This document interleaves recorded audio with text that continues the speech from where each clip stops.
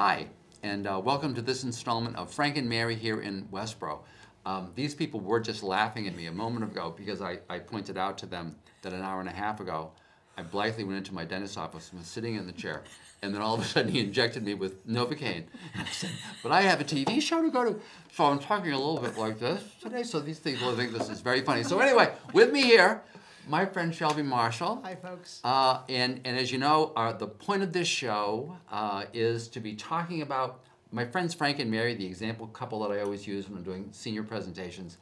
And, they, and their goal is to live in their house until they die and be buried in the backyard. And really, they want to live in their house and they want to live in their community, right. Right. So the goal of this show is if you're Frank and Mary and you're living in Westborough, what are the people you need to know? What are the programs that are in place or that should be in place so that you can live in your house until you die? Absolutely. Right, And, so- and where is Westborough going to sort of get there? Because we're not there yet, right? Right. So it's sort of in, Right. in, as we're all learning in sort of a bit of an evolution. And today we have an awesome guest with us. A wicked awesome. A wicked, wicked, Wicked awesome. Wicked right. Not quite as awesome as the socks. That, that's right. I mean, we gotta That's put right. it in context. That's right. That's Outside, right. I don't even come That's close. right. We Right, had to pull her away from going to the parade just so that she could be at the show. This is like this is a big deal. Yeah. Uh, so Tammy Pozerycki, um, welcome. I believe Thank you've been on the show, uh, one of Arthur's shows before here in Westborough, Yep. so you may be a familiar face to those uh, tuning in today. So Yes. thank you for joining us. Thanks for having me. Yeah, and so um, kind of as we do, we want to learn about our guests, want our audience to learn about our guests, kind of who are you, why are you here today, and um, what's your connection to dementia and Alzheimer's? So I have been in the field for about 23 years um, as a social worker, working with families and uh, people living with dementia. And along came my grandmother, who also lived with dementia. So I've had the opportunity of having both a personal experience and a professional experience. And along my journey, I sort of found this gap. And the gap was what are the folks at home doing who can no longer navigate and attend the senior center, who are not ready for any type of memory care facility? What do they do all day? Because socialization is actually the number one treatment for, for someone living with dementia. Um, so I bought a home, a single family home, converted it into an adult day program that specialized in Alzheimer's and dementia, earlier onset. Um, Which is how I met Tammy. Right? yeah. We Oh, trying to- that's right. Because we were trying to get the permits to do this because the zoning officials were like, "You're going to do a what? You know, where where is this in the?" And you want to talk about a, an interesting connection between Yeah, all of us is that the house she bought is my wife's was my wife's brother's home. Is that Is crazy? Is that crazy? This is it. This is. This is so like I had a connection with Gail before I knew Gail and Shelby. That's right. It's Isn't just that crazy? This is great. Small This is great. world. Small world. So I named. So you started this great program. Yeah. Yep, that was 10 years ago, and I named it Pleasantries, which I just like that name. I don't even know where I got it. Um, so I have recently sold Pleasantries um, to a gentleman who um, is has as much passion, if not more, than I do, and he is going to continue the services and mission. So I'm very happy about that. Um, and now I am doing specialized dementia training and consulting. Let, let me bring you back in the time machine just for a moment. For our audience who may not be familiar with what pleasantries and they're trying to Google it right now, That's- tell us about what what is pleasantries So there's two models of adult day care program, however you want to call it. One is a medical model, one is a social model. And the medical model is regulated, licensed, um, usually a very large census, um, taking in all walks of life and all challenges that people have where And many people with really serious challenges. Oh, yeah. Both, both physical and cognitive. Right? absolutely and all ages too um, where a, a And typically with a nurse on staff and a whole bunch of. there's a a lot of other stuff. regulatory Yeah, yeah, yeah, uh, yeah. staffing like ratio and all that. Um, That's the medical model, yeah. So the social model is really something that's not seen. There's only three of the home-based social models in Massachusetts, and I thought 10 years ago that these this was going to boom. That every town was going to have a pleasantries. Um, but being in a home environment and only accepting up to 14 guests and having three staff and engaging them in what we call work related activity, household activity, these are things that they've lost in their lives to create a purpose.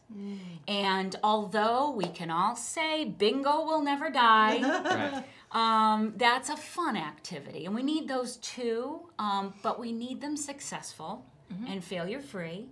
And it slows the progression. So, so who was, who was, who, I I, know from my own personal experience, my brother-in-law was at Pleasantries for a mm-hmm. while, one of my brothers-in-law. Several of my clients have been at Pleasantries. But can you just talk about who is the person who would usually be at Pleasantries and who, would- and would have taken advantage of Pleasantries? And you can talk as a non, in a non-conflict situation now, because you just sold Pleasantries, Yeah. right? So is, right. But just kind of talk about that, So- who, who would be appropriate? I, I'm going to tell you a quick story about my greatest reward in my career. And that was a woman who was born in Hungary who was working at a nursing home as a housekeeper for 36 years. Mm. And they had to let her go because of her disease. She was walking off the job.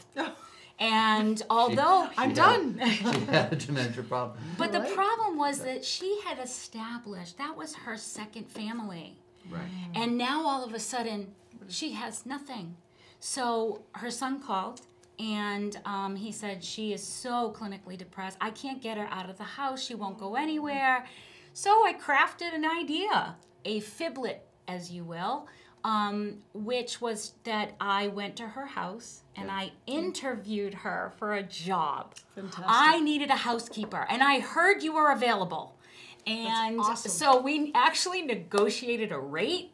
Um, son would bring her in the morning, give me a little cash. At the end of the day, I give him cash. She came in her scrubs. And Oh, I love it. And, and certainly we gave her household activities to help us with, but Right. she was engaged. That was the point. She made connections again. She was no longer depressed anymore. Wow. So that's that was an extreme uh, experience. But but almost not really. I mean, extreme in you know sort of yours, but but we find certainly you know kind of as we care for folks in the home care in in home care one to one, it's that same thing. It's that purpose. It's that making that connection with the individual for what was important to them, what was relevant to them, and then um, you know maybe simplifying or modifying the, the task or the activity so that they do feel that purpose, Absolutely. right? Right? So, Absolutely. It's just so important. And, you know, what happens with folks in the earlier stages that aren't engaged like that, um, they will feel the symptoms of depression, they will isolate, they will withdraw, and the disease will progress quicker. And so the goal in very, in, in many cases, just to get folks out, and to, but to get them not out just doing nothing, but be feeling like they're really doing something.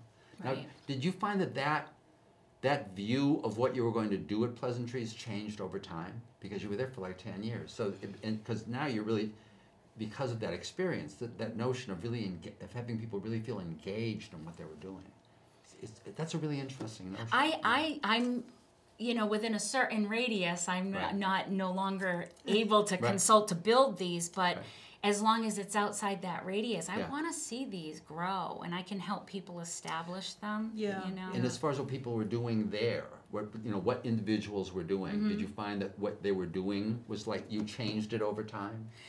Um, well, you adapt Yeah. based on their ability and what's successful. So, So then highly customized for each individual. very right? they call it person centered. Right, You right. know, where you're creating the activities around who's there, Right, right. what are their interests, and and you just as things start to get maybe frustrating, that's when you start to change Yeah. things. Yeah. Sure, yeah. sure, right, and that could be d- disease progression. It could just be a bad day, right? Right? So, Absolutely. right, the activity that you've planned, and so this is sort of this is something we were talking about a little bit before we rolled the tape. Um, um, but I think that sometimes, as the individual, the caregiver potentially, who sort of has a plan, right?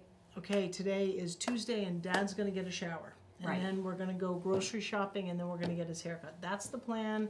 I've already mapped it out, and we're going to do it in so much time because today's my day with Dad. And that's a great plan, right, Tammy? That always works, right? Right? The plan looks beauteous Right. until you really try to execute that right, plan. Right, right, and so that's really hard for the for the caregiver. You know, wife's, um, um, you know, daughter, son doesn't matter, right? But the the reality of someone with dementia is not my reality. So talk a little bit about kind of going to where that person is and the importance of that, if you will. That we call it reality orientation because people we live in our reality. We live in the current moment. It's Halloween Mm-hmm. we day. don't want to. It's exactly. Right. Sometimes I want to be in the reality. Right. Um, but it, you know, it's it's where we are and where they are, and we can smooth the communications. We can smooth and and really reduce burnout. Well, because that's one of the biggest challenges, right? It's hmm. not that folks don't want to care for their loved one; it's that they just might not have the the, the tools, not the skills, the toolbox, right? Right. Toolbox. And they're exhausted because it's constant. And so, give us an, the, let's talk about kind of those examples of the the the constant of the individual who says, you know, keeps talking about mom who died. Right. So Right? that happens all the time. right. Um, and I think our first reaction is, why are they talking about their mother? They died 30 years. And don't they know that? Right. Why wouldn't they know that? right. So, what I've experienced is at the end of the day, um, Terry's calling out for her father and wanting to go home. And of course, we validate the feelings, we empathize the feelings, we fiblet. Fiblet is not a lie, it's not a white lie, it is a therapeutic non truth. That's what we call it. It's easier for I families to verified this accept. with a priest. As to whether it is a sin, maybe it's not a lie. Is, it- is this a sin? No, Right. so- So, um, but back in the day, they used to teach people to correct, Right. to tell them, no, you're wrong, um, to really try to brainwash them into thinking your reality. And all that does is create negative feelings. So we'd get Terry at a good place, she'd go home and she'd start all over again. Where's my father? I want to go home. And her husband your father died 30 years ago. You are home. Right. This is is where you've been. We've raised our kids together. She doesn't remember any of that. And in the moment, what she is looking for is just Yeah, some, what is she looking for? She's looking for safety and security and comfort. That's what's missing. So she's scared. Mm-hmm. It's later in the day. She's she's moving into the sundowning Mm-hmm. hours we call it. Um, but just to do that little bit of fiblet and reassurance, it goes a long way. So, in not knowing Terry's situation, would a good good a good example of a fiblet say, um, your dad actually called and he's going to be late because he has to work a little longer. Absolutely, he you and the key is to Or- know the history, right? Right, To know the past, the so that they don't call you out. They're Right, not. It doesn't make you He dumb. doesn't work at night. He works. That's right, right, right. right, right. Like, So- oh, that's so a like- terrible fiblet. Oops.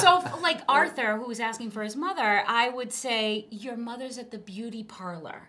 She never worked a day outside the house. So if I had said to him, "She's at work, she'll be by," he would have called me out on my BS, and then Right. he would have been still distraught. Right. And now So- maybe there's an element, even though the person has some diminished capacity.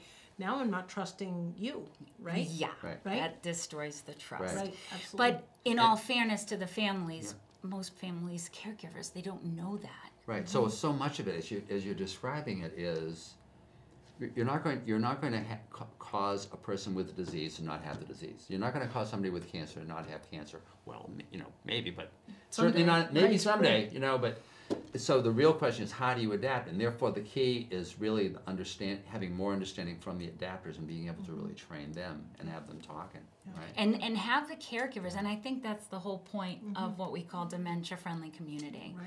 It's those people in the community that just don't understand the disease. And how how can we create a community that's accepting, that they want to go and engage in and not hide in their house?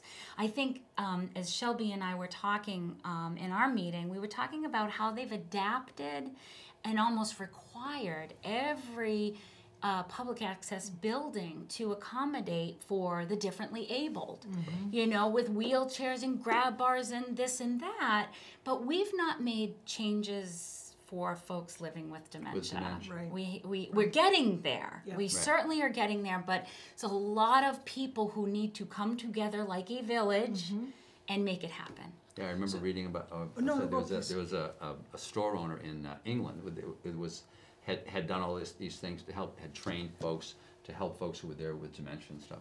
And and uh, somebody asked him to describe. He said, "Well, he's, I'm simply creating mental ramps. You know, remember in the old days there were no ramps, Oh, that's great. and it was always a hassle to get in. And now there are every ramps. That you just assume it. There's a ramp. well, these are just mental ramps. That's you know, it was just a great. wonderful. Wow. it was a And those wonderful notion. ramps are Yeah. are just knowledge. They're maybe maybe making the environment a little easier for that Mm-hmm. person, knowing how to approach and communicate. Right. I mean, that's basic. You know, So what, Yeah. give us an example of approaching someone who, you know, clearly, you know, and maybe even in a stranger kind of situation, right? So I don't know, so you're approaching me, you see that maybe I'm kind of a little bit of an altered state and, you know, and I'm in my eighties, I'm just, right? So what, what is that approach to someone? And, and you're at the senior center, let's say. And we say, were you going to say something? No, no, okay, well, we say that it's first of all always important to approach from the front and um, lower your tone of voice and speak um, clearly and slowly. And if you ask a question, you have to wait. Hmm. Because if that person is, which when, when I've trained police officers, what do police officers want when they ask a question? An answer. An Right. answer. That's So right. you and it's about asserting authority, getting Right. control of the you situation, have to right? wait and let them process it hmm. because if they are verbal Yeah. they probably will answer it hmm. um, the other thing is to maybe talk about instead of shooting questions off Sure. just talk about the day engage them in a in Right. a conversation that is um, nice building a little bit of trust talk about yourself. I was gonna say maybe yourself, Yep. right? Talk about Introduce yourself. Hey, you know, I, I have um, a woman that worked at the senior center that actually followed a woman with dementia out the building, and she was going home. And senior centers are not places for drop offs to take care of their loved ones with dementia, unless there's a special program, and we're going to talk about that. Um, but the woman went right alongside of her. She goes, It's a gorgeous day. Can I go for a walk with you? Would you mind?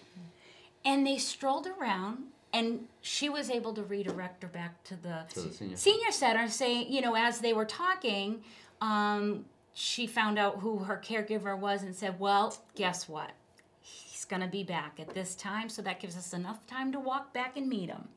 So it's like, you know, uh, it's it's not hard. Right, right. It's Right. it's just knowledge. But because if you don't know, how can you even do it? Right. How would Well, you and even we, guess? we How would you live in a society of what time, I'm, I'm this, Yeah, right? yeah. Everything is, you know, limited, right, you know, and so being able to slow down in that moment is, it's invaluable for the individual with dementia, um, and, and yet sometimes it's painstaking for the caregiver, right? But, and to have places where, as, a caregiver, you know you can go. Because I need a where- break. And where, where folks who are there, if you're going with somebody, are going to have that kind of training. Right, That's right, got to be such right.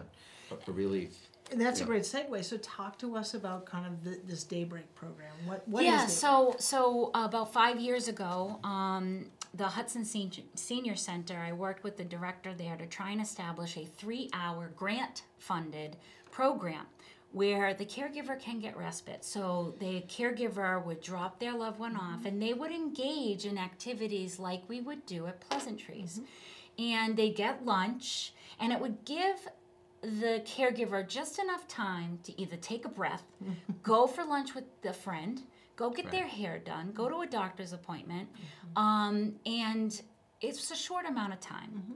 But the value of it was that there was like a fifteen dollar donation.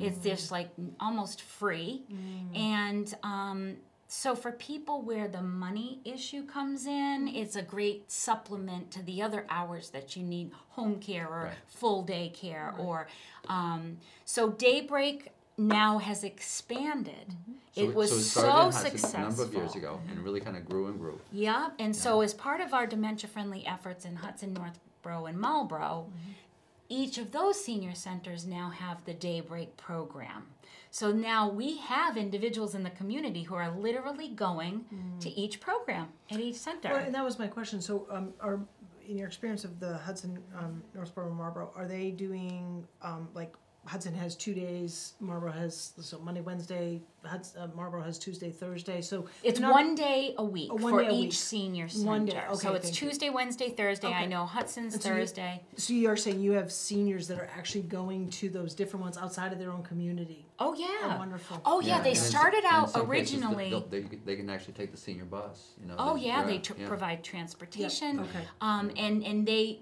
they don't discriminate. They'd say, Yeah. well, we're supposed to kind of stay within this, but, Yeah, yeah. you know. But they're okay with that. And then So- if people needed more, that's when a pleasantries comes in, or Sure. a a home care comes Sure, in. And, I- you and I'm just Or- going to mention, yeah. because I know that one of the things that those three senior center directors were talking about was the ideal would be to have five communities. The Yeah. ideal would be to have some place where you know that you can go Yep. every day, right? Yeah, And, and, right, and, right, and many of these wow. folks I've heard you just, or I've heard folks there describe, and they say, you know, the, the, the person, the person who has memory loss looks, Mm-hmm. starts looking forward to that, you know? It's like, ooh, it's like ten thirty, where, you know, I used where to are we have today? I used to right? have guests that on Saturday morning Oh. they'd wake up. They'd when are we going up. to Tammy's? they get up, get dressed. Some forgot what it was. Some asked, you know, they were going to school. Yeah. I'm getting up I'm ready for school. Yeah. Um, routine and structure are really important too. So that's a great. Now I just want to mention one other thing, just or one other kind of program that I'd like you to describe, and that is a memory cafe. Because Oh, I know sure. Yep. you were. I, I got interested in in those, and then realized that you are you had actually created the first one Mm-hmm. while you were at Pleasantries. You just and kind of talk about that and of kind of where that has gone, and and how that fits into this whole kind of dementia friendly communities model. So there can't be enough memory cafes. Um, I did start the first one in Massachusetts in 2011, and it is 2018, almost 19, and we have almost 100 Wow, cafes in Massachusetts. So, what is it? And the concept was created in Europe, and United States started in 2008. And it's a place where you are going to go with your loved one, so the caregiver and the loved one with memory impairment. Go for a couple of hours. It's free to attend. There's refreshments, entertainment. Some cafes do activities. Um, but the idea behind it is that there's no failure there. Everybody there accepts you, understands the disease. And then what we've seen, which is brilliant, is all these friendships form because they're going through a similar mm-hmm. journey. And what we Right. know about the both, disease. both the caregivers and the folks who've got memory. Yes, and what we know to be fact is family and friends start to disappear mm-hmm. when the disease starts to progress. So those caregivers need people Mm-hmm. in their lives. They need a what I call a new social network. Yeah, right, right. And so and of people with shared interests. Right. And what we've done in- shared interests. Yeah. what we've done in Metro West is all the cafes, and Westborough did change because it was competing with Hopkinton. Mm-hmm. So all the cafes in the Metro West area do not compete. They're all on different days, times, and locations. There's senior centers, restaurants. There's the one at Pleasantries. Um, they can be in libraries. There's mm-hmm. the Northborough ones at the library. So, and that again, it takes support mm-hmm. financially, mm-hmm. um, and and usually the facilitators are doing it from their heart, passion, give back to the community, and then, you know, through sponsorships or grants or, or soliciting donations, um, we've been able to maintain them and just keep seeing them grow. They even have uh, multilingual Oh, cafes now. Sure, sure. Um, so And I know that in those in those three communities, each of the commu- the, uh, the Marlborough, Hudson, Northborough, each one is approaching the kind of ongoing fundraising in a different way. I know Mm-hmm. in, in the case of Northborough, the, the the Friends of the Senior Center Yep. has just said, you know, we got this, we're doing Mm-hmm. it. You know, I think, in, but in each of the communities, once it's there, You see that the value, sup- yeah, yeah, yeah. the support Yeah. network is is tremendous. Right. Now, now I'm going to give you one one uh, one uh, a, memory cafe story. I was talking to my friend Trish Pope, right, Mm-hmm. who is uh, the senior center director in um, in and former city councilor. Um, and so they'd started one. They'd started one, and, and she said, so the last one that they had, and and once again, this went from like you know nobody to like typically about 15, 20 people. The last one they had, is in a separate room. This was actually at a restaurant. Oh, did you hear about? yes, I Yeah. heard about it. And that, so they, they were doing the memory cafe, but there was also some folks who had booked a birthday party for that day, and there was an, another part of that was a mm-hmm. very big room, right? Well, by the end, they're all doing they're all together. There's like the oh, birthday Oh, party and the folks there at the memory cafe, That's right? great. And so everybody is kind of coming out. Once again, the, the, the goal of life, right, is not to have a great memory, but to have a good time. Right, We right. actually, we the one I facilitated in uh, Sudbury Senior Center, Mm-hmm. we had people coming in and saying, "What are you doing?" Yeah. I'm like, "Come on in," Yeah. you know, Sure, and they would on in. participate and Right. engage with the Right. folks. Right, So right. it's non-labeling. There's no stigma attached to it. Well, I think that's the biggest thing, right? As, as soon as you, as a, a caregiver, you find yourself that you have a loved one who has memory impairment, right? That they are like it immediately. You're right. That it's almost like kind of um, peeling a carrot. You know, those layers of your social network just sort of fall, and it is not intentional. No. But but your your friends who you had, you traveled with, you did lots of things. They they don't know how to interact. It becomes awkward. Right. It's you know you're juggling a million appointments you know for your loved one and it just happens and then you're so isolated so Because those folks also don't know how to kind of slow down, you know, to Right. actually ask a question Right. and wait right for the answer. right, It's- right. and it's it- awkward it's- it- right yes, like you know we used to engage you know our wives used to be best friends and now someone is maybe nonverbal so like that's now it's awkward right? And what we're finding in the community as a whole is that every place of business, every person has somehow been touched or has engaged with someone with dementia. Um, and and what better way to provide the education in all, all the community segments, right?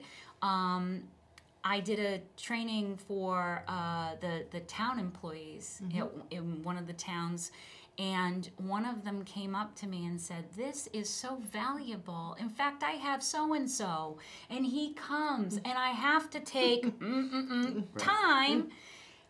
And she gives him that time. Right. It's about flexibility. Oh, we give give the voting example.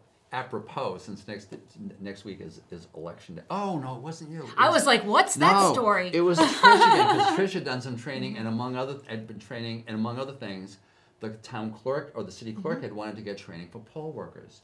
And, and and one of the poll workers afterwards came up and said, Trish, that was so valuable because they had had a, it was the pri- they had had the primary, Mm-hmm. and she said, you know, there was a lady there was was really kind of nervous, and, and she said, I really helped her, I really helped her, you know, get to her ballot, Yep.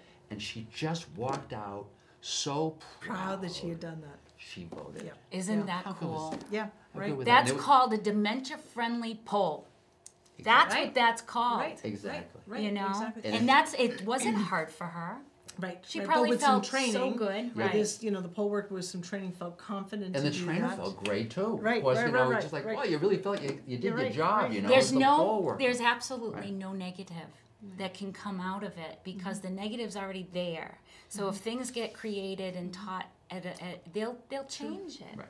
So, Jamie, just very quickly before we have to sort of wrap up, tell us about what you're doing now and kind of how you've taken all those years of experience and what what you're offering in terms of kind of training and who you're training, just so our listeners know. So my focus has really changed to healthcare professionals and organizations who are caring for people living with Alzheimer's or dementia and also assisting in the efforts assisting communities in the mm-hmm. efforts to create dementia friendly community. Okay.